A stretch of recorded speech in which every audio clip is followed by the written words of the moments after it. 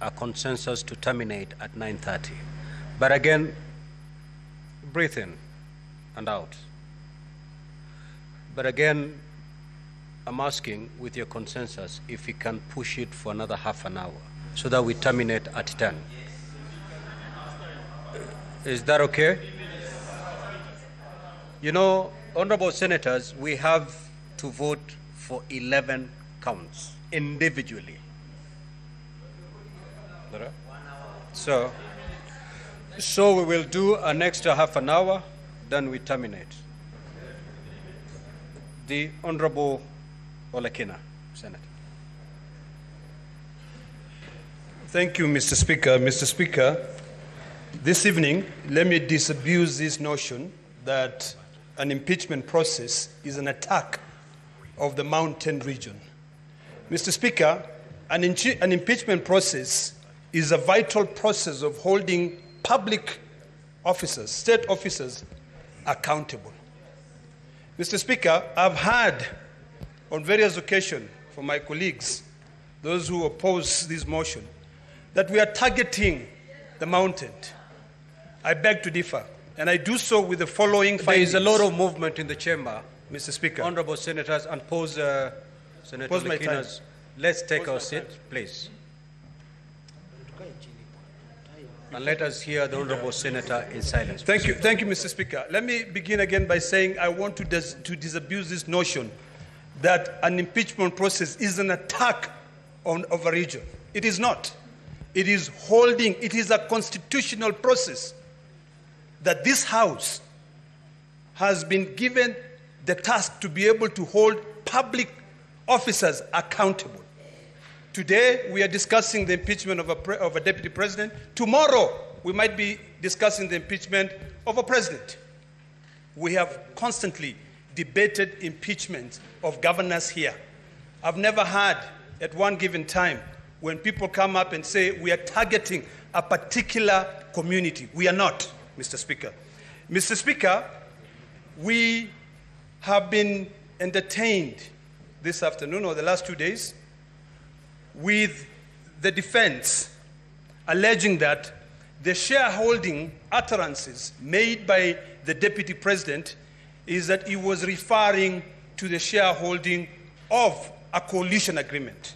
And Mr. Speaker, we were demonstrated here that the Kenya Kwanza coalition agreed upon how they can be able to share different you know, positions in government. In fact, I thought they would say that the Speaker of this House was also negotiated. I believe when the Speaker of this House was proposed to be voted for, he was voted for by all the senators. And never have I seen the Speaker giving preference to the people of the coastal region.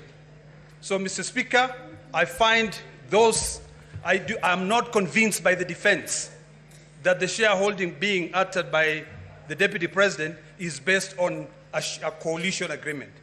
Mr. Speaker, the defense attempted to respond to the allegation on ground eight, whereby they say that the utterances of the deputy speaker violate section 132 of the penal code. It is important for us to know what section 132 of- of the penal code says. It actually make it illegal to utter, print, or publish words or acts that brings into contempt the lawful authority of a public officer. The decision made by Justice Esther Maina in her capacity as a judge of the High Court is protected by the position that she holds. So it is a bit unsensical for the deputy president to go out in public instead of following the due process of the law to be able to go out and appeal the decision of that judge. Until today, Mr. Speaker, the coercion which was used to be able to return the 200 million shillings back to the deputy president, that money must go back to the, um, the public. Mr. Speaker, the deputy president has got a forum. Article 240 of the Constitution puts him as one of the key members in the National Security Council. He has got a forum to be able to go out there and express his dis- dissatisfaction with the, um, with the NSIS, NIS. When he calls a press conference and outright says that the Director General of the National Intelligence has completely brought that service into a halt, he was exposing the secrets of this country. And what he was doing is that he was actually saying that we have got no control. Mr. Speaker, if for anything, today I'll cast my vote based on various issues. One on shareholding, two on the violation of Section 132 of the Penal Code, three on the issues of coercion. I listened to the gentleman from KEMSAT this afternoon when he said that he had to sit for hours at ESCC to be able to come out with one billboard. One. He was called on the 11th. When the defense were trying to justify that, instead of actually reading the recommendation made by the Senate, they were going through the submissions of one of the witnesses who appeared before my committee of health. So, Mr. Speaker, I'm convinced. Senator Seki. The senator was elected by the people of Kajiado. Thank you very much. Um, thank you very much, uh, Honorable Speaker. I also want to put my voice to this motion of the proposal to removal of the Deputy President of the Republic of Kenya, Honorable Rigathi Gachagua, as a motion uh, by Honorable Mutuse. I want to say that the grounds that has been put to this house from number one to number 11, Honorable Speaker, I thank the legal counsel of the Deputy President for interrogating the witnesses, more so Honorable Mutuse being the lead witness and the mover of the motion. Honorable Speaker, I want to put to this uh, House that we are unable, I am unable to see evidence that has been put in place for the 11 counts, 11 uh, grounds in this motion. Honorable Mutuse was unable to demonstrate on issues that has been raised in this motion. Particularly, can go to one or two. The motion or the counts seven or charge seven, where the deputy president was uh, alleged to have one uh, have a 5.2 billion within his assets within that small period of time. Honorable Speaker, I understand that this witness was not able to explain and demonstrate that the Honorable Deputy President was got the, the, the 5.2 billion because of the contracts that he has uh, done with the government.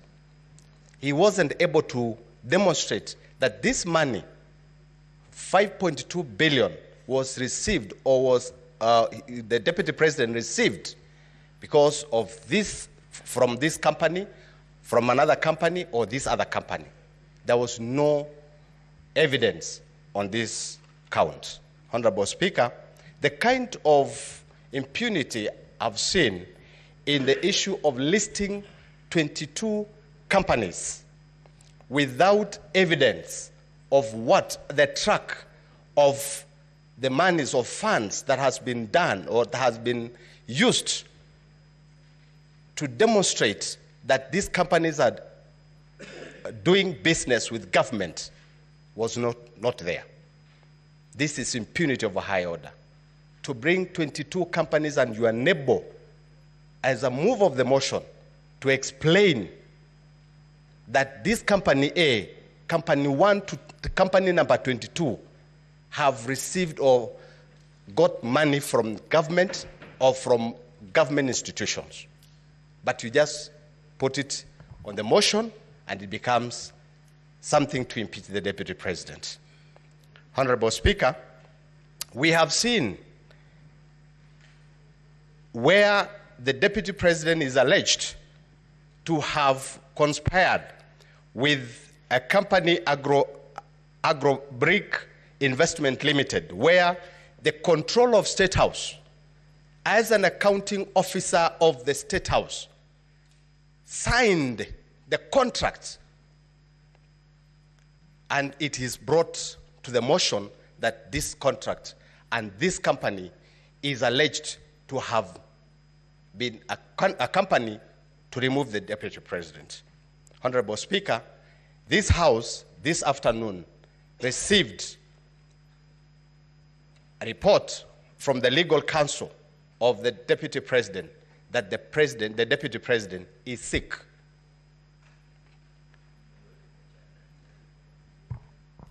Now, we are ready. Senator Faki.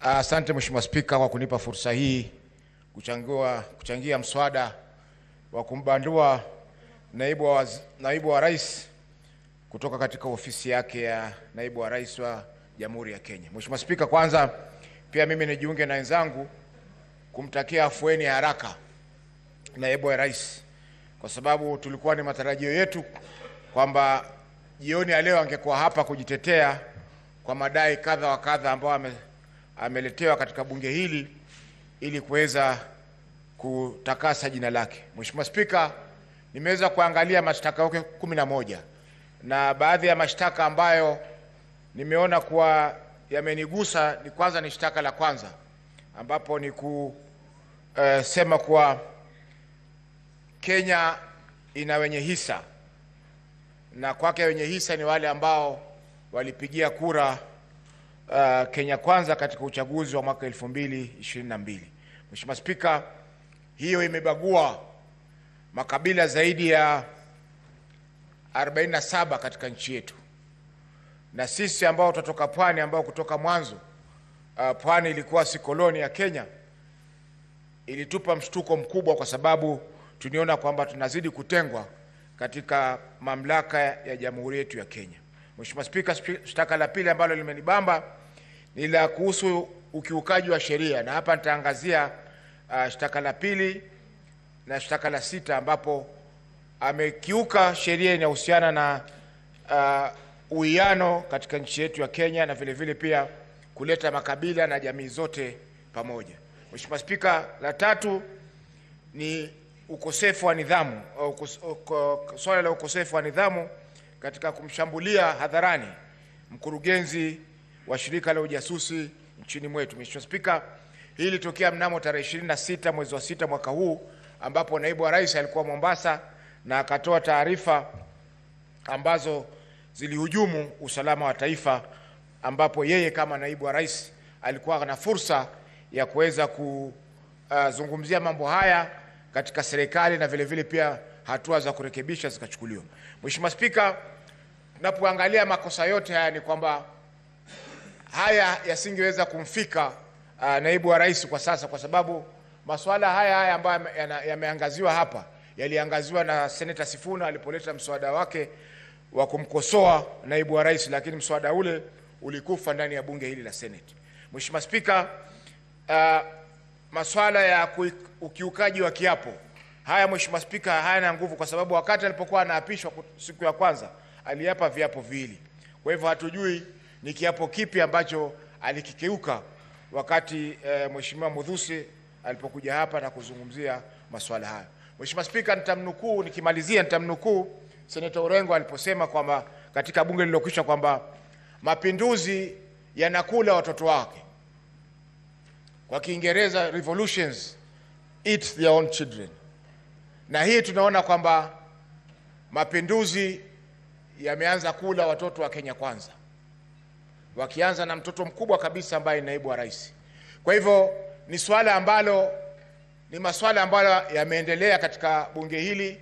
Bunge lililokwisha tuliona hapa uh, Profesa Kindiki aliteta sana hapa, lakini ba, ba, vile vile mapinduzi yakamla. Kwa hivyo ni kwamba lazima tujenge siasa katika nchi yetu ambazo zitakuwa ni siasa za kusonga mbele. Tukichaguliwa kama viongozi, tukizungumza, tuzungumze masuala ya kitaifa, tusizungumze masuala ya vijijini mwetu, wakati sisi matarajio ya Wakenya wote ni kwamba tunazungumzia masuala ya kitaifa. Kwa hiyo Mheshimiwa Spika, napongeza pia bunge hili la Senate kwa kuonesha uh, ukakamavu na vile vile pia umahiri mkubwa wakati tumeweza kusikiza kesi ya naibu wa rais. Labda kwa siku za usoni tutapata pia fursa ya kusikiza kesi ya rais wa Jamhuri ya Kenya katika bunge hili letu. Asante Mheshimiwa Spika kwa kunipa fursa hii. Senator Oroba.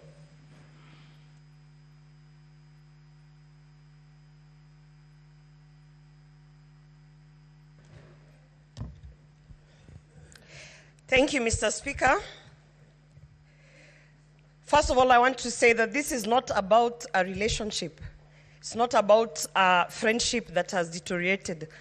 I have been hearing people say if it's about a relationship, if it's about a, a, a, a marriage that has broken, why don't they go back and make peace and come together? No, Mr. Speaker. These two individuals, His Excellency the President and the Deputy President, did not come together so that they can live happily ever after and have children, Mr. Speaker. They came together so that they could deliver development to the people of Kenya, Mr. Speaker. So, this, what we have been doing here for hours and hours, it pains me when I hear people saying, you know, about adultery and relationships and what. And I'm wondering, no, we have been here because of 11 counts, Mr. Speaker. A very serious impeachment motion because of not two, not three, but 11 counts, Mr. Speaker. In my condition, I have had to sit here and go through all 11 counts to understand which one actually has been substantiated and which one holds water. So, no, this is not about a relationship. And we should not expect that because they came together, they should now go and sit somewhere and make peace. Now, and, and you know, stop disturbing us. No, Mr. Speaker. 11 counts of an impeachment motion is something very serious, Mr. Speaker. And it's very unfortunate that of the 11 counts, about four counts, Mr. Speaker, were not even substantiated, Mr. Speaker. Very shocking. When you have a team of legal experts sitting down bringing 11 counts, at the very least, they should have even substantiated nine, Mr. Speaker. But four counts, ground two, when you talk about undermining a cabinet decision, how did we not have the witness come here to speak so that we can be able to understand? Some of us, we don't sit in cabinet, and we need to understand what a cabinet decision is, how it is undermined. Mr. Speaker, the witness did, was not produced. We had another witness who did not come here in terms of undermining devolution. Governor Sakaja signed an affidavit, but then did not appear, Mr. Speaker. People must respect the Senate because when we are sitting here to analyze 11 counts, Mr. Speaker, honestly, in all fairness, they should at least be substantiated to some level. However, Mr. Speaker, I have lived through the post election violence of 2007 2008. And it is very strange that 2007 I was also pregnant, Mr. Speaker. And when I remember, Mr. Speaker, the things that triggered the post election violence, Mr. Speaker, in 2008 of January, it was such utterances such as Musiguze Mlima, Mr. Speaker. They started as a joke, and before you knew it, pe- matatus were being stopped and people were being asked, get off the matatu and showcase your IDs, and arms and limbs were being chopped off, Mr. Speaker. So we might think it is a joke, this shareholding narrative, Mr. Speaker. But having lived through that post election violence, and I remember very well, Mr. Speaker, that I even had to choose the people who are operating, you know, on me in 2008 because I was afraid. You know, as kisses, we love everyone. People always think we are traitors because we welcome everyone. So at that time, the attack on us was from both sides, Mr. Speaker. And so I therefore I do not take this shareholding narrative as a light thing. I do not take this Musiguze Mlima as a light thing, Mr. Speaker, because I have been affected directly. And on that count, Mr. Speaker, I definitely have seen that it has been substantiated. We have seen the evidence, and we have even seen repeated utterances of causing divisiveness in this country, Mr. Speaker. And I want to say today, Mr. Speaker, this country is not about one person. It is not about William Ruto. It is not about Rigathi Gachagua. This country is about the 50 million Kenyans who have to live in peace and under the national unity, Mr. Speaker. And for that reason, Mr. Speaker, I want to say that on that shareholding narrative, I hold my ground and I will definitely vote that he should be impeached. Senator Kavindu.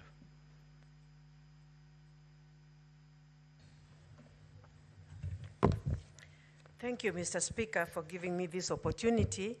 And let me start by uh, telling His Excellency, the Deputy President of this country, pole sana, and we wish you a quick recovery. Two, uh, Mr. Speaker, I want to quote a scripture which has been quoted here uh, John 8 7. Jesus told the people who took that woman to before him, whoever has no sin to be the first to take the stone and throw at that woman. And when he bent down, when he came up, there was none of them. All the men had gone, only the woman was standing there. And he told her, Go in peace, your sins have been forgiven. Mr. Speaker, when I talk like this, I'm saying that uh, the other day we had the deputy president publicly ask for forgiveness. And the Bible in the, in the book of Matthew 14, uh, uh, Matthew 6, verse 14 and 15, says that if we don't forgive men their sins when they sin against us, our Heavenly Father will never forgive us our sins.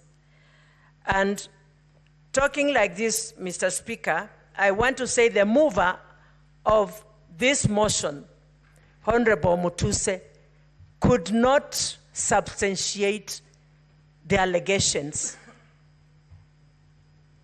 He was asked questions, and people, even outside on media, are laughing and asking, What kind of a lawyer is he?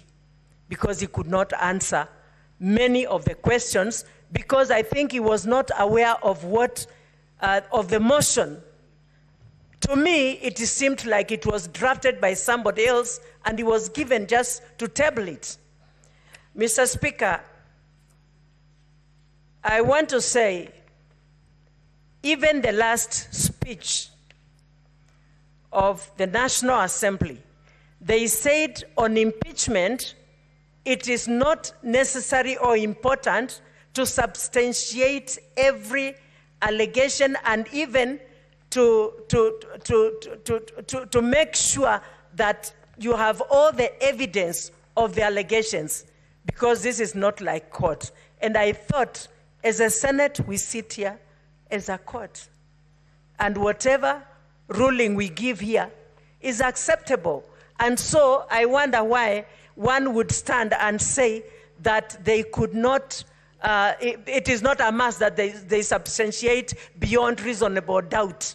I believe if we are impeaching a person, we should, uh, the, all the accusations must be substantiated and beyond reasonable doubt, because that is one's career we are about maybe to ruin. And this person has a family. This person has a career. When I think of uh, Waititu, when I think of Sonko, for, for, for 10 good years, they cannot stand on any, any elective office. Uh, and, and I had, honorable senators. Senator Methu, you are heard in silence. Senator Fonandi, you are heard in silence. thank you, Mr. Extend Speaker. the same treatment to Senator Kavindu. Thank you, Mr. Speaker. And Mr. Speaker, it was just the other day I had uh, Majority Leader and many of us here say that Sonko was impeached for no good reason. How do we reverse what we have already done on this in this Senate. So, Mr. Speaker, I want to say before we impeach anyone, we must substantiate all the charges and make sure that it is not something that we are going to eat back our words and start saying we did a mistake. Mr. Speaker, I stand here to say no to this motion. Senator Kathuri Murungi. Uh, Thank you, Honorable Speaker, for this opportunity also to make some comments, one or two comments on this important uh, exercise. Mr. Speaker, many Kenyans are wondering why the Deputy President is uh, being impeached. And they are saying if he is to be impeached, him and the President should be impeached the same time. Mr. Speaker, the articles in the Constitution, our Constitution has given the National Assembly and the Senate this mandate to do this exercise of checks and balances to our uh, public officers. And Mr. Speaker, uh, Article 145, which we used this afternoon even to determine whether to proceed or not, is very elaborate on how to the process of impeaching uh, the deputy president or the president. So, Mr. Speaker, we are here because the Senate actually has been on several occasions. Uh, we have brought deputy governors, governors, and now the deputy president. Mr. Speaker, Mr. Speaker, protect me from, uh, from this. Honorable Speaker, Mr. Speaker, kindly protect me from some noise from behind. Senator Fernande. So, Mr. Speaker, I was Just saying, move to your seat, your normal seat. I was trying to say that, Mr. It- Speaker. It may be lonely, but please stick there. Proceed. Mr. Speaker, this House has brought deputy governors, governors, and now the deputy president. Mr. Speaker, what we are doing is a constitutional mandate. And therefore, I will ask Kenyans that they should bear with the Constitution. It is the Constitution which has brought us where we are. I want to, also to thank the parties that were here for the last two days the parties representing the Deputy President and the parties representing the National Assembly, Mr. Speaker. All these senators have been sitting as judges for the last two days and nights. And Mr. Speaker, it is only that uh, this is a court, like a high court. Only that judges in the high court or the, the courts do not discuss the cases that they handle, but they meet and discuss and then they make the decision, and then the decision is learned by maybe the president of the court. But because now we make a decision through a vote, that is why, Mr. Speaker, we find ourselves here. And this evening, these juries will make one, their decision in one or the other. And Mr. Speaker, what I request Kenyans from today, whatever decision will be made to maintain peace, love, and unity, as was envisaged since independence in 1963. Because, Mr. Speaker, where we are, a decision will be made by the Senate in one way or the other, either to impeach the deputy uh, president or to appoint, or not to impeach, I mean not to impeach Mr. Speaker. And I want to talk to the people that represent, represent the Meru community. I want to assure them that whatever decision their senator will make is for the best interest of the Meru people. And I want to assure them that their future will be bright, if not more bright, Mr. Speaker.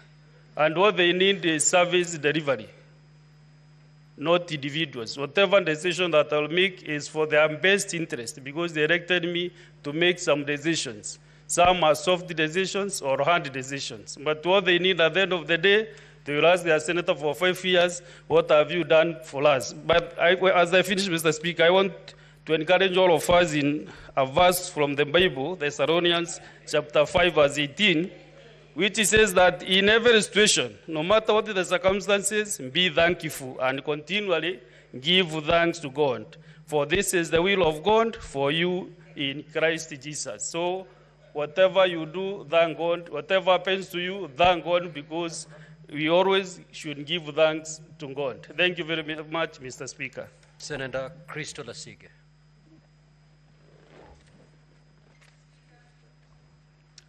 Speaker, the Parliament of Kenya has gone through a great deal in a very short amount of time, many firsts. And it is utterly painful for me to know that the world keeps seeing us time and time again under such lugubrious circumstances. However, Speaker, it has taught me many, many lessons. And it's also reminded me of many that I've known for several years, one of which I was taught by Tony Evans, which is if all you see is what you see, then you don't see all there is to be seen. Speaker, I have never met the Deputy President. In fact, in the last two days, the first time we've ever shared any space together. And to be honest, I don't think that we have much in common. I personally feel like there is a lot there uh, to there is a lot to be desired in his leadership style for me personally. However, instead of going to the Bible, I want to go instead into my own experience and draw some parallels. Mr. Speaker, I, of course, know, uh, people know that I have glaucoma and I've been uh, fighting and battling it for several years of my life. And, Speaker, when I first got my diagnosis when I was just a teenager in high school, I was told that it was imminent. There was no running away from my condition. And I didn't know at the time that I had anything that was going on. I was just going about my life, but inside of me and around me, there was a condition that was building up and building up and building up, and I had no idea what was going to happen in the future. Mr. Speaker, now I have le- been left blind, and I cannot see in front of me even when I put my hand in front of my face. Mr. Speaker, the parallels I draw with my life and the current hearing that we are sitting in today is that the Deputy President did not foresee this happening to him either. Mr. Speaker, I have also drawn parallels of feeling out of control, which I assume that he feels. Being given a diagnosis that seems imminent, that he cannot stop. Mr. Speaker, I also feel that um, he, has, he is probably feeling fear. That's what I've heard. Mr. Speaker, feeling betrayed, feeling angry. And I felt all those feelings because of a situation that I can draw parallels with in this, in this hearing. And Mr. Speaker, I have been fighting and fighting, pleading and praying, trying everything in my power to mitigate, to stop, just like he has been doing in the last several um, week, uh, weeks that this has been going on, Speaker. And it's funny that it's Blindness Awareness Month this month in October because there are many lessons, like I said, that I have learned, and I wish that the public will also take from this experience. Mr. Speaker, I hope that, this, that um, the public understands that um, when they have their back to the wall, when they've been in any kind of battle, even when they feel isolated, there is something called golfer's elbow, which I learned. Golfer's elbow is the idea that, um, or is a condition that golfers usually have when they hold on to the grip of their club too tight for a long period of time and they end up injuring their wrist all the way up to their elbow because they're holding on too tight, too tight to an outcome, too tightly. And I've learned that sometimes you just have to let that go. And I hope that the public can take that away from this situation.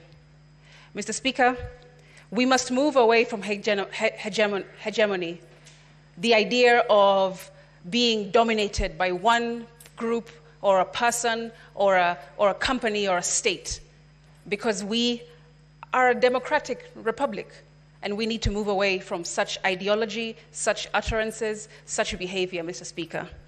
However, in the 11 counts, I have seen many that have no evidence, and I've seen some that do have some evidence. But I have not been particularly given confidence by the witness in chief, the mover of this motion, when I saw him up on the stand, Mr. Speaker. Although none of us can relate to what it's like to being a deputy president in this room for sure, we can definitely relate to the lessons that I've just mentioned. Mr. Speaker, make decisions today that will not betray you tomorrow. That's one.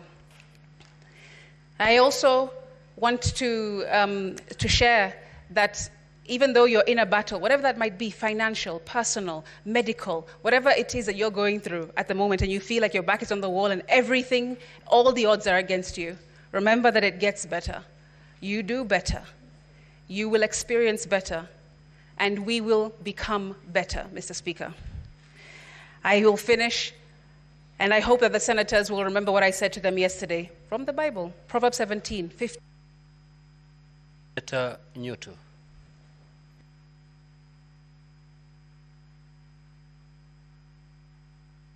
Mr. Speaker, thank you very much, Mr. Speaker. I think I cannot thank you more for affording me this opportunity at this late hour. Uh, Mr. Speaker, I stand right from the onset to say that I oppose this particular motion, Mr. Speaker, and I have reasons for doing so. Uh, Mr. Speaker, the key witness or the mover of the motion uh, came before this House yesterday, Mr. Speaker. And although I'm not a lawyer, but I know that it is in, there in the rules of natural justice that whoever alleges must prove.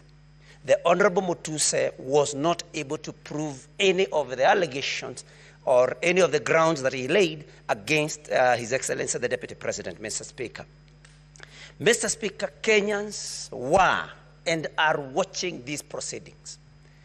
They were able to see the cross examination and to hear the cross examination of uh, the Honorable Mutuse, Mr. Speaker. And I want to urge this House, Mr. Speaker, that if we want to uphold the dignity and the honor of this House, that Kenyans were and are still watching, you cannot impeach the, the, Deputy President of the Republic of Kenya, Mr. Speaker, on allegations, on grounds that were not able to, that, that the mover was not able to prove, Mr. Speaker. And that is what prompted the question, I think, by Senator Wambua, which later was asked by uh, Senator um, Okiya Omtatah, which you were able to stand, uh, to stand down because it had already been asked, whose motion was Mutuse's? Because it was not his motion. He had no proof of any or for any of the allegations, Mr. Speaker, and that is why this House, in order for them, in order for us to uphold, like I've said, the dignity and honor, we need to vote no to this motion, Mr. Speaker. Mr. Speaker, many that have spoken before me have talked about uh, the woman, the adulterous woman that was caught in the Bible.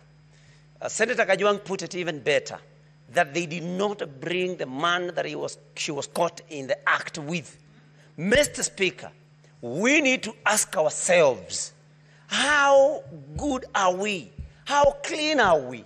Are we qualified to throw the first stone, Mr. Speaker? I think that is the first question that we should ask ourselves. That as we judge the Deputy President, how good are we? How many mistakes, how many offenses have we ever committed? How many sins even have we ever committed? And God forgive us, and our fellow human beings also forgive us, Mr. Speaker. But the most moving uh, thing, Mr. Speaker, is that we did not give the Deputy President an opportunity I know, of course, the motion to, uh, uh, to, to, to, defer this particular, uh, to adjourn up to Saturday did not pass. But, Mr. Speaker, under Section uh, 50 of our Constitution, Mr. Speaker, we 50 0, Mr. Speaker, we need to give uh, any person 50 0, that is 5 0, uh, Mr. Speaker, 2F to be present and when, when being tried unless the conduct of the accused person makes it impossible for the trial to proceed. Mr. Speaker, the Deputy President uh, was taken ill according to what the counsel reported to this House. And Mr. Speaker, we did not give him an opportunity. Mr. Speaker, I draw your attention also to our Constitution, uh, Article 145, 145 sub, uh, clause 5 the president shall have the right to appear and not or and be represented before the special committee, Mr. Speaker. We did not give him that opportunity.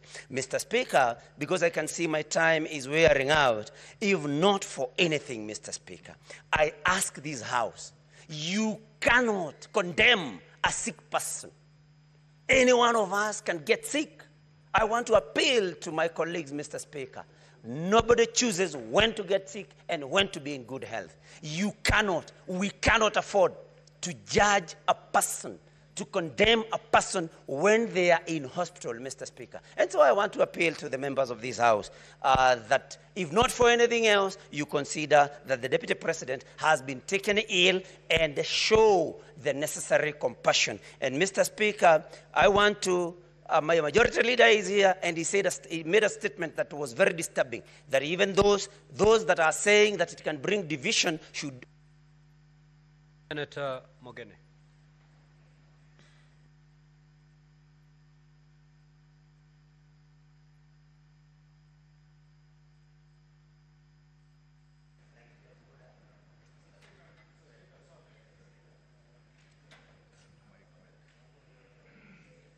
Uh, Mr. Speaker, sir, uh, first on my own behalf and on behalf of the people of the great county of Nyamira, I want to send a message of quick recovery to His Excellency President uh, Rigathi, and we wish him a speedy recovery.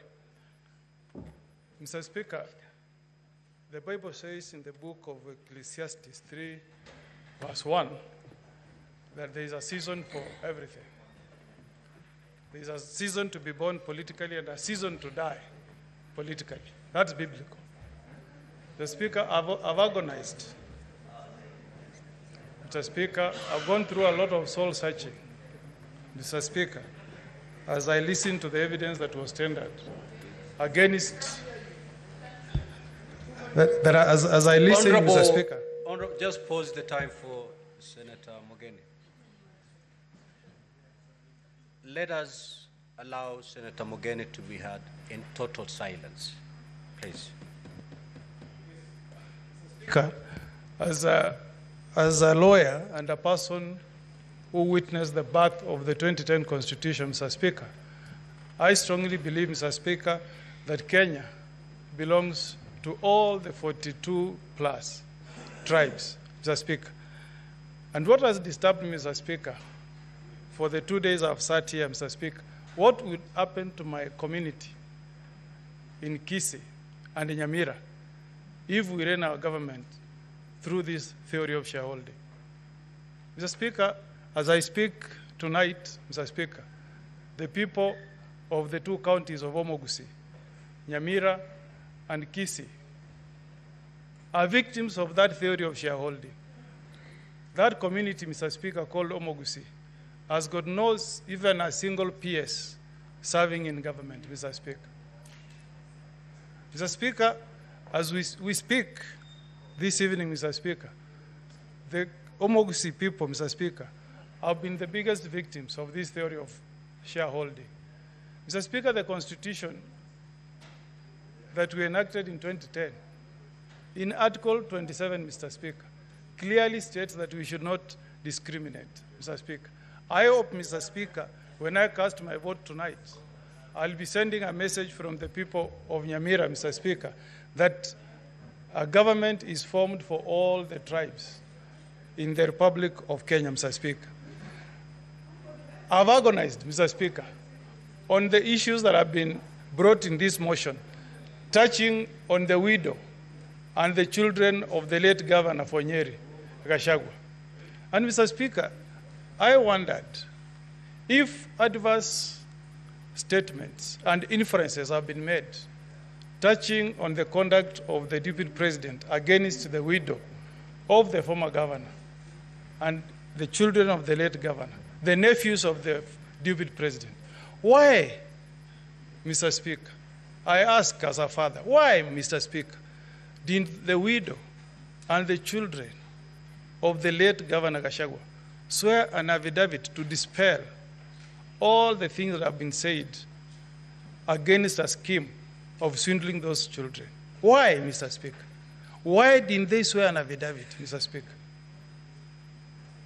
That has, that has troubled me a lot. And I, as I cast my vote tonight, Mr. Speaker, I'll be casting my vote for those children who lost their mother, who lost their father, but who were not given an opportunity, Mr. Speaker, to appear before this House and tell us, Mr. Speaker, that there has not been any wrongdoing from the deputy president to those children. Count number one, count number eight is about the utterances that were made by the deputy speaker.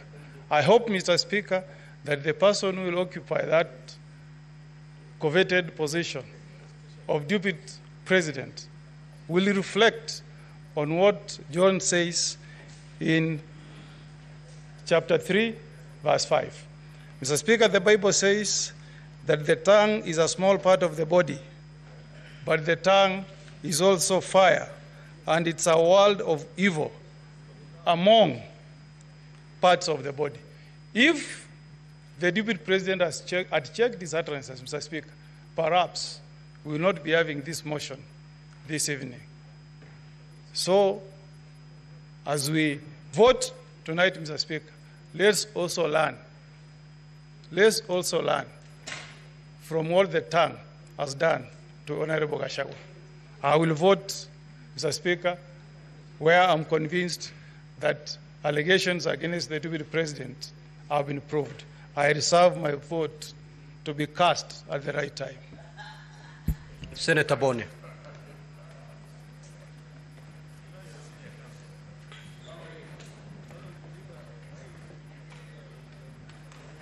Thank you, Mr. Speaker. Mr. Speaker, the position of the Deputy President of Kenya is very high. It is a very high calling. And therefore, Mr. Speaker, as we make a decision on the Deputy President of Kenya, I want to remind him that of those to whom more is given, indeed, more is expected of them.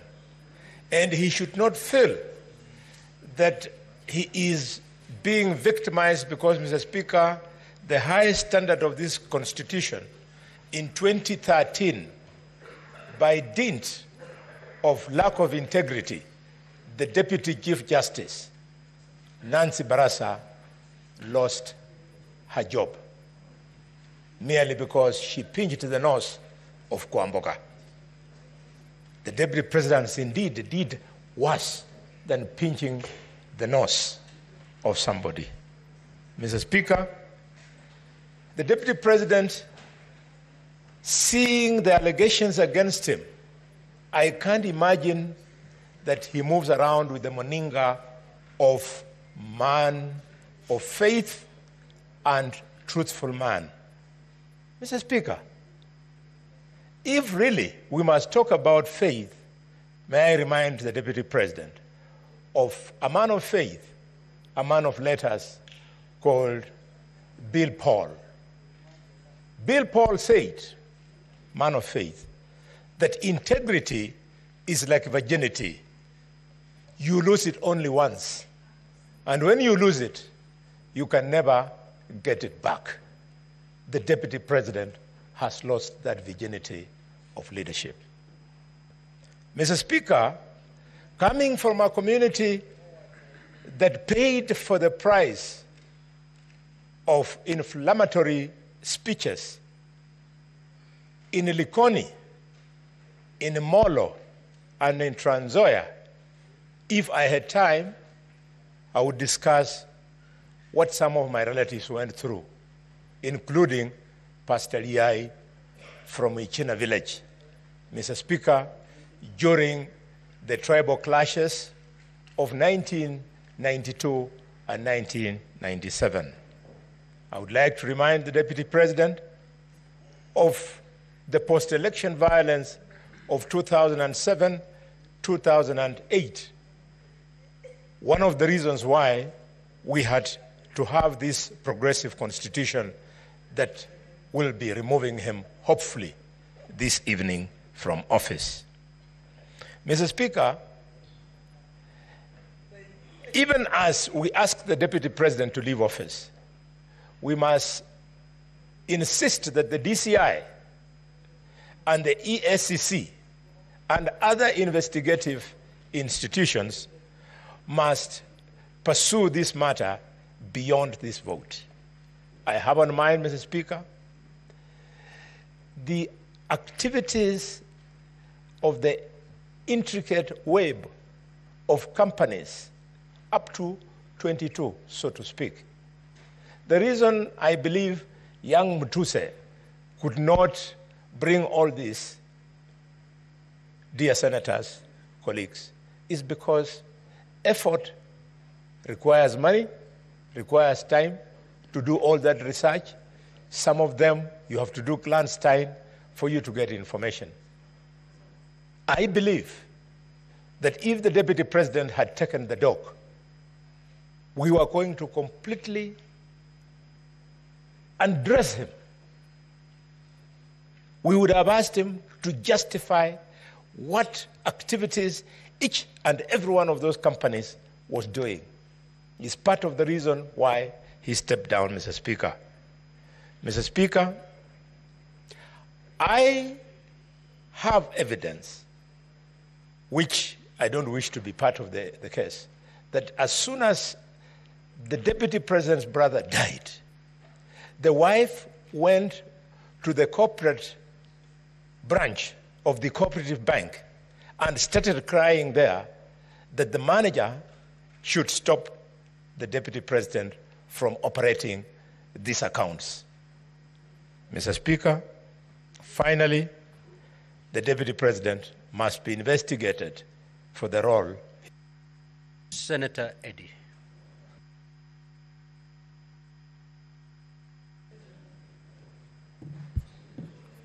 Mr. Speaker, I thank you and I recognize the pressure of time.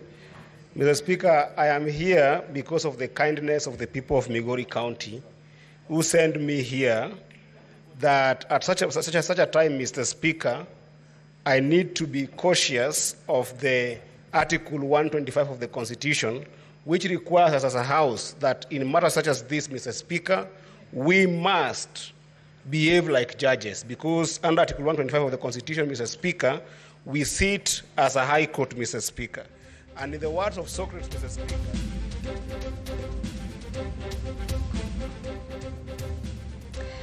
It has been non-stop broadcasting live from the Senate, and it is not over just yet. The debate on the floor of the House has now ceded room for the next event the historic impeachment vote, the first one ever for a deputy president. Every end of the Constitution is stretched to its limit tonight as Kenyans witness what is the imminent removal from office of a sitting deputy president.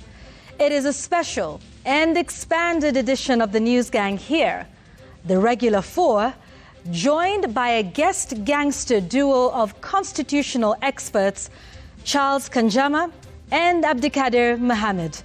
We will be talking through the momentous events of the evening once the voting starts. The News Gang will be here in just a moment once the voting begins, but for now, it's back to the Senate for the debate. uh, courteously and considering soberly, Mr. Speaker, are more than half of the charges, Mr. Speaker. And I find that ground one, five, and six on the utterances of the, of the, deputies, of the deputy president, Mr. Speaker, violate Article 91 of the Constitution and Article 232 of the Constitution. We cannot have political parties, Mr. Speaker, that are founded on the basis of, the, of ethnicity and dividing national resources on the basis of ethnicity, Mr. Speaker. Number two, Mr. Speaker, that would make the ground, ground number four, which actually also happened to be reason number four for why the deputy president must leave office, Mr. Speaker, at, at the violation of Article 160 of the Constitution, Mr. Speaker, of undermining the, the, the, the judiciary, Mr. Speaker. There was an imminent threat to the judges there, Mr. Speaker. You realize that in my judgment, Mr. Speaker, I excuse ground number eight on the basis of the fact that there was no uh, uh, proof that there was, there was a petition that was not, was not filed, Mr. Speaker. But on the threat, Mr. Speaker, I think that the Deputy uh, uh, President stands impeached, Mr. Speaker. Ground number nine, Mr. Speaker, on NIS, Mr. Speaker. We know that this country has faced serious terror attacks, Mr. Speaker. And the moment the Deputy uh, President, Mr. Speaker, showcases the secrecy of uh, deficiency in our security infrastructure, Mr. Speaker, and you know that under Article 240, he has platforms to be able to express himself, Mr. Speaker. It is a violation of the Constitution, Mr. Speaker. Lastly, on ground number 11, Mr. Speaker, on bullying KEMSA official, Mr. Speaker, it has been proven here beyond reasonable doubt, Mr. Speaker, that the Deputy President is not a member of the company that was listed. He's not an employee of that company, Mr. Speaker. Yet he goes ahead and makes calls on behalf of that company, Mr. Speaker. That is impeachable. Lastly, Mr. Speaker, I must call the Counsel of the deputy, uh, uh, the deputy president to order, Mr. Speaker, especially Counsel Paul Muite, Mr. Speaker, for actually practicing law in deceit, Mr. Speaker. You cannot say that at the level of the deputy president, Mr. Speaker, he was okay in this house the entire time, and then when asked, you are saying you cannot be able to account for, for his whereabouts, and you know that the deputy president, Mr. Speaker, also must be able to be taken care of by the DG of Health, Mr. Speaker, who could have given us a document to be able to substantiate whether the, the, the deputy president is sick, Mr. Speaker. While I say sorry to the deputy president, Mr. Speaker, I think this kind of deceit should also be tantamount to further impeachment, Mr. Speaker. I do therefore say that on ground two, three, seven, eight, and 10, they are not substantiated. But on ground one, five, six, four, 9, and 11, Mr. Speaker, this is a fight against tribalism that is done by one individual that then we must. Senator Osotsi, unfortunately, you only have four minutes because we terminate at exactly 10.30. Th- Thank you, Mr. Speaker. Mr. Speaker, I'll be so quick. Mr. Speaker, uh, when the Deputy President was here, I remembered uh, the saying of a famous uh, philosopher, 19th century, uh, Lord Acton, who said, Power tends to corrupt, and absolute power, cor- uh, ab- absolute power corrupts absolutely. Uh, Mr. Speaker, uh, a few of us here served with the Deputy President in the National Assembly. And when we were there in the National Assembly, the Deputy President was a very humble man, very simple, very social, and uh, was uh, rare to talk. But listening to the judges and uh, having seen what has been happening around, this is not the same man. This is a different man. So, indeed, I want to agree with this philosopher that power tends to corrupt, and absolute power corrupts absolutely. And this is, it may affect all of us here. So, there is something we need to learn from what has happened today. Mr. Speaker, I also want to congratulate the members here for their decency and maturity in conducting a fair trial. Mr. Speaker, it is not true that the Deputy President has not been given a hearing. We had to adjourn this House for two hours to wait for the witness to come. He didn't come. And uh, Mr. Speaker, you know that the tradition of this House that sometimes we receive written submissions. We do that in our committees. We do that in public participation. So the members who are saying that he was not given a fair hearing is that that is not true because this House tried as much as possible to get uh, the Deputy President to come. Mr. Speaker, a lot has been said about various laws and uh, articles of the Constitution that the Deputy President has violated. But one important article of the Constitution that runs through all the charges, Mr. Speaker, is Article 131 of the Constitution, which read together with Article 147 clearly says that the Deputy President is a symbol of national unity. That is not the case, Mr. Speaker. Mr. Speaker, if you go ahead, Article 131 2 says that the Deputy President, by dint of Article 147, should respect and uphold and safeguard the Constitution. That is not the case. The Deputy President should promote and enhance the unity of the nation. That is not the case. The Deputy President should respect, promote respect for diversity of, of the people and communities in Kenya. Mr. Speaker, that is not the case. So if there is any piece of law that is going to send the Deputy President home, is clear violation of Article 131 of the Constitution because the Deputy President is the principal assistant to the President and therefore exercises powers of the President as per Article 131 of the Constitution. Mr. Speaker, if there is one charge, because we have 11 charges, that is going to send the Deputy President home, it's charge number one. I listened to the evidence that was brought here by his counsel. That evidence of uh, the coalition agreement of Kenya Kwanza was not sufficient, was not convincing. And in fact, Mr. Speaker, the Deputy President conveniently hid for. Your time is up. Majority Leader, you may now move to reply.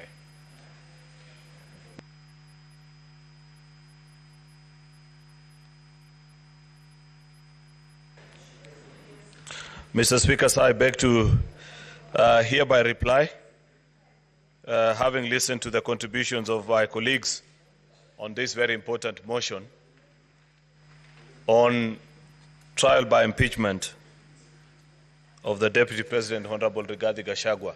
I want to thank colleagues that have taken time to give their views, both in support and those opposing this motion, because that's how you grow a democracy, Mr. Speaker.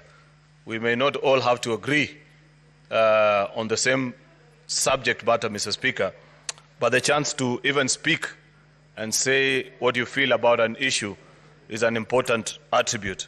Indeed, Mr. Speaker, I agree with uh, um, the contribution that was made by one of the advocates for the Assembly, that comparing what you're doing today with previously what used to happen, where in the one o'clock news, vice presidents will be changed without any notice. And the elaborate process, Mr. Speaker, that we have gone through up to this point is great for our country. Mr. Speaker, I appreciate uh, the National Assembly, the team of the Deputy President, Mr. Speaker, that has presented us with information to help us make a fair judgment of this case. Mr. Speaker, I strongly disagree with those that hold the view that the Senate hasn't been as fair to the Deputy President as perhaps they would have expected. To the best of my knowledge, Mr. Speaker, I think as a House, we did the best that was within our means. We granted the opportunity, was given sufficient notice, Mr. Speaker. It is only in the unfortunate circumstance of this afternoon where he was taken ill, uh, Mr. Speaker, and I'd wish to take this time to extend uh, my message of goodwill to him and wish that he can quickly recover and go, get on with his other duties, Mr. Speaker, uh, both as a human being and should, whichever way this vote goes, Mr. Speaker, because it's not in my hands, but in the hands of the 67 uh, jury that are here, Mr. Speaker, that he shall continue to thrive. I wish him well, Mr. Speaker. Like I observed earlier, this is a friend, and friends wish each other well under all circumstances. Mr. Speaker, you know, just as a final thought, I thought about the journey of the Deputy President and the tribulations uh, that have occurred to him as inquiries to either his conduct or utterances. And I'm reminded of a book I once read, Mr. Speaker, by Senegalese satirist Ousmane Sembene, a book called Xala, where, Mr. Speaker, a very rich businessman by the name El Hadji looks and desires a beautiful young lady by the name Ngone and finally takes her in as a third wife. Unfortunately, on the same night that he marries her, he develops erectile dysfunction, Mr. Speaker, and is not able to consummate the marriage. Sometimes in life, Mr. Speaker, when you fall down, you have to prepare to get down before you eventually can rise up, Mr. Speaker. I do hope, Mr. Speaker, that even in this particular process, the Deputy President will emerge stronger, better as a human being, as a leader, and that there can be better days uh, ahead for him. With those very many remarks, Mr. Speaker, I beg to reply and wish that our colleagues in this House make a decision in the best interest of the country. I thank you, Mr. Speaker. Thank you. Now, honorable senators, these are the